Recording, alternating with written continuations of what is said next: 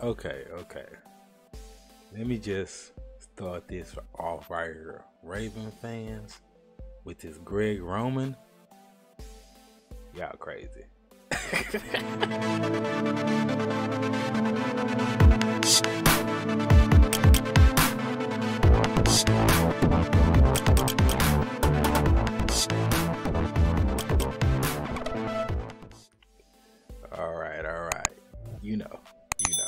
Okay, so I'm in here, we're just watching, you know what I'm saying? Checking out the uh, live stream, talking to coach. Then you see Fire Greg Roman just trending. Just can't I'm typing something in there to my to my homie engraving. And I couldn't even see what I put because it was so many fire Greg Roman in there. Was going crazy. And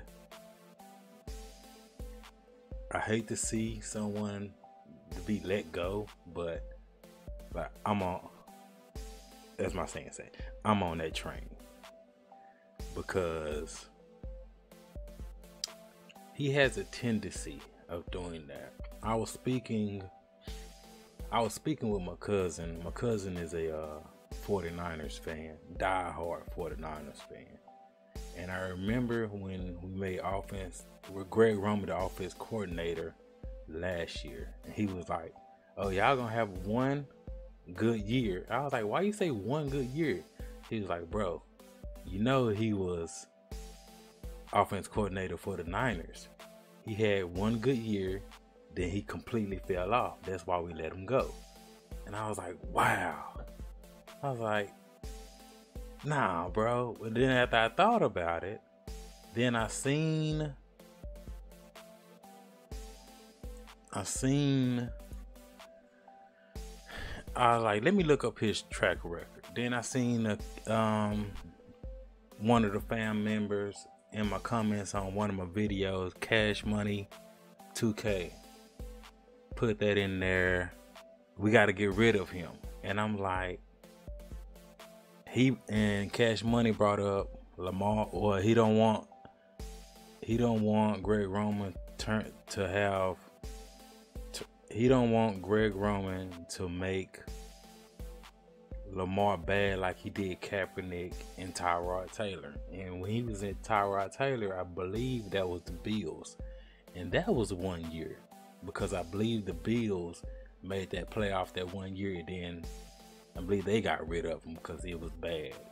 And if and if you have a track record of only doing success for one year, that should be a sign because Greg Roman worked under Jim Harbaugh, which is John Harbaugh's brother. Jim should know that information to give to his brother. Matter of fact, John should already know that information about Greg Roman. And it's just a trip because, like the Hollywood tweet, we know that was about Greg. It's no ifs, ands, or buts and you see how this year is going where I've seen it on Twitter, seen it on YouTube. it's like, oh man, I forgot who put that on there.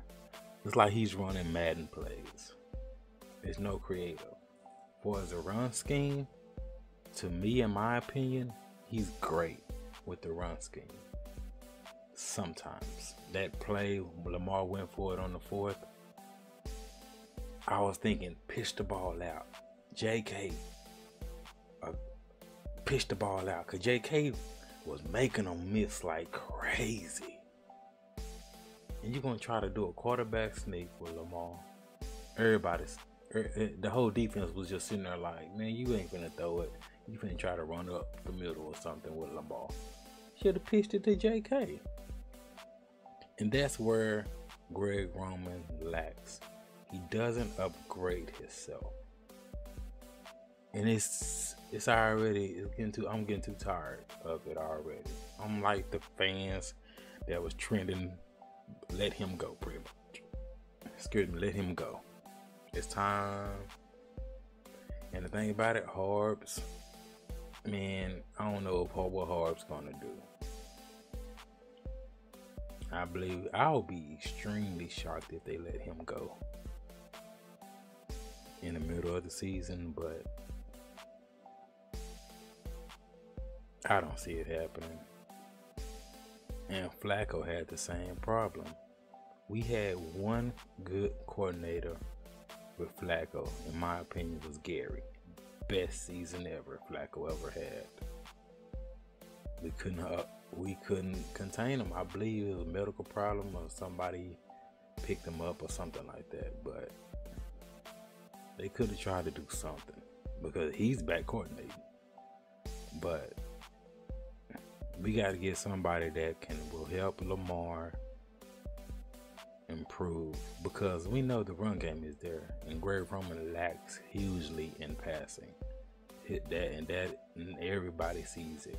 If that whole entire league sees it, that's a problem. But that was just my quick take. I'm not gonna go into deep, deep detail, but it's already out there. The only thing is, Will the Ravens listen?